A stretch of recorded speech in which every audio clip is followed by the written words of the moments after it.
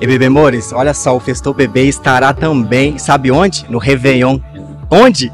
Lá na Trigo Leve.